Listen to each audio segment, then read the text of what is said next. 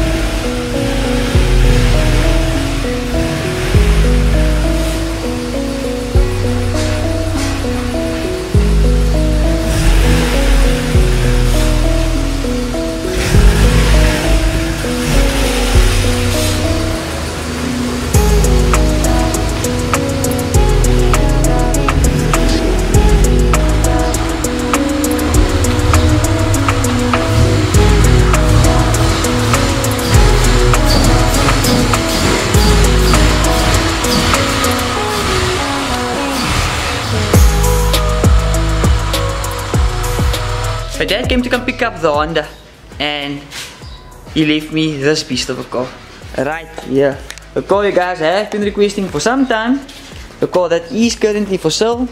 the car is due for a nice detail so we're prepping the car for the sale at the moment so this car is definitely up for grabs guys if you guys are interested in this car definitely hit me up the car is quite neat for what it is the mileage at the moment is 209,000 almost 210 as a nice double done in as well. Car's very very nice. Car boost lovely. So this car is definitely up for grabs at the time if you guys are interested in this car. I have to clean it up today as well. The car will be dropped off tomorrow for detailing so if you guys are interested in this car definitely do hit me up on Instagram at Mr. Late Late or at Late Late Customs. I'm gonna start with that car real real soon. I'm almost done with that car. Started with that car yesterday. So all I need to do today is sort out the distributor, do the um, water um, well flush, and then we are sorted with that car. So I'm gonna take a quick break and go take a bite inside. Two hours later. Few hours later, electricity is back on. I'm fully rest out. Had a nice meal and we're gonna start off with this car once again. So what I'm gonna do, I'm gonna put you guys to understand. I'm gonna start by training the water system. We do have a, um, or we got a distributor. So um, I need to drive with the car to go and test out the distributor. So we'll have a nice like um, well cruise with this car as well. This car is actually knocking at the back, so I need to sort out that. I need to sort out this light on this side. I need to give the engine bay clean, so hopefully we can get all that um, sorted in this time frame while we're actually waiting for the guy to let me know about the distributor. Let's get started with some before footage.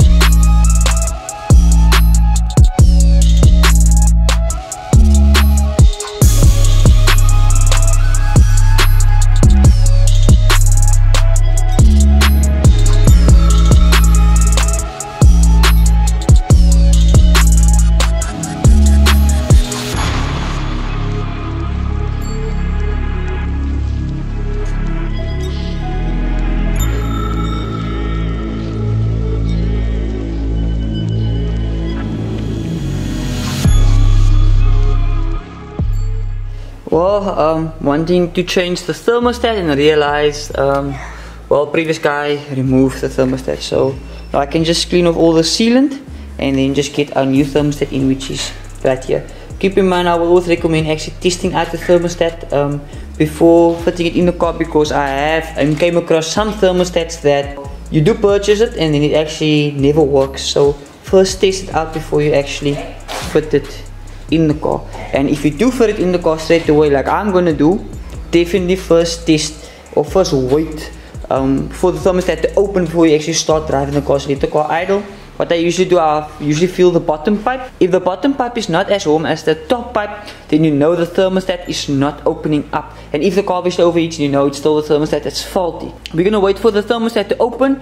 Then this bottom pipe will be the same temperature as the top pipe and the fan will go on well like most probably like a few minutes just after the thermostat opens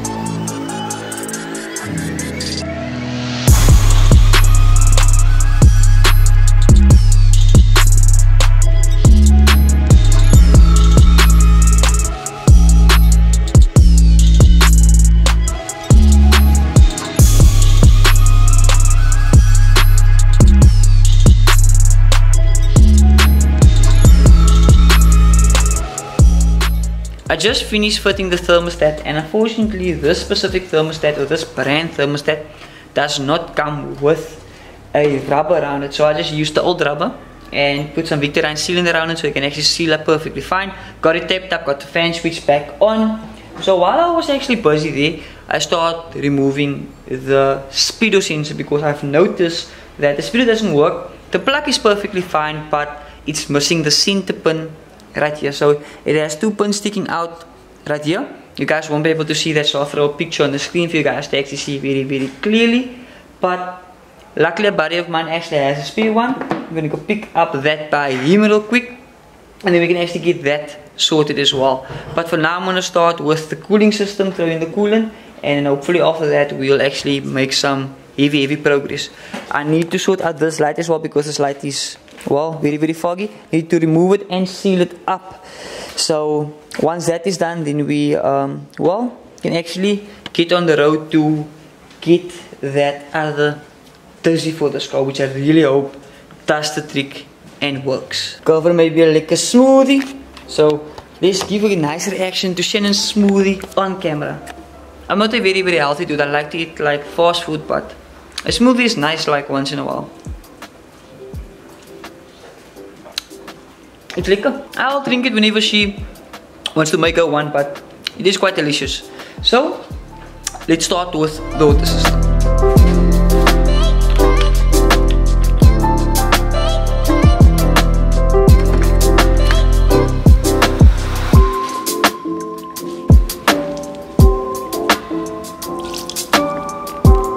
That's gross. That's even more gross. After um, well, quite some time, I managed to get this bottle nicely cleaned up. It has still a few dirty spots like in the corners of the bottle which I can't reach. But I'm gonna get this in the car quick, throw in the coolant and then actually bleed the system.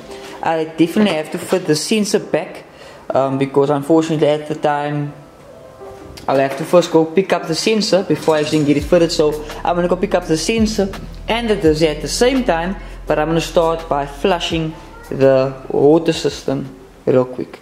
And then hopefully after the dizzy and the sensor is plugged in and everything is fine, then we can actually start cleaning up the engine bay.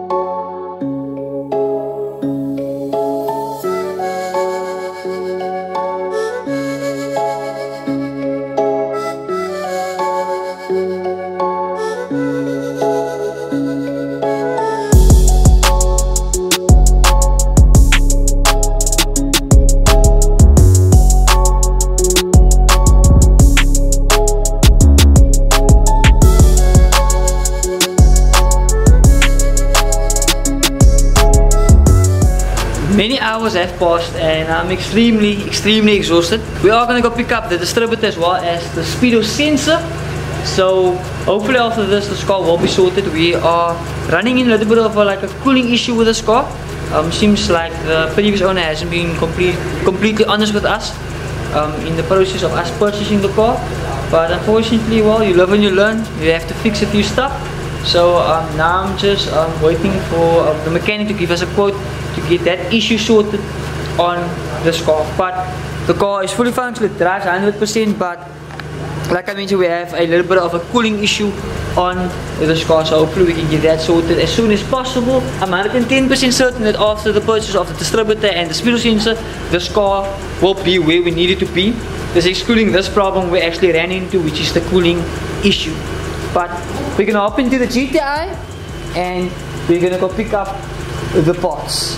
So I'll bring you guys along for the joyride.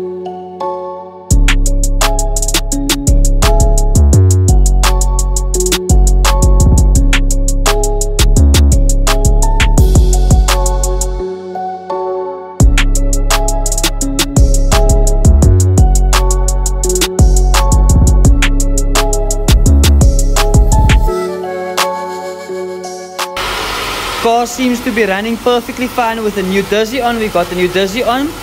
The old one's actually way better looking. And that tension is also giving a problem right there. But this Dizzy um, looks a bit uglier than that one. So we have to probably rebuild that one right there. But the car is no longer in a limp mode. As you guys can see right there. There's no engine light on. Car is up quite well.